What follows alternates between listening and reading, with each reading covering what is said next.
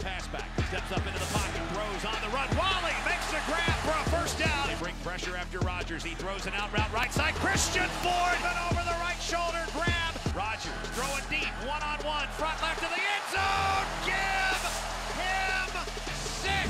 And Will Rogers has set the single season completion record. Wrap it in maroon.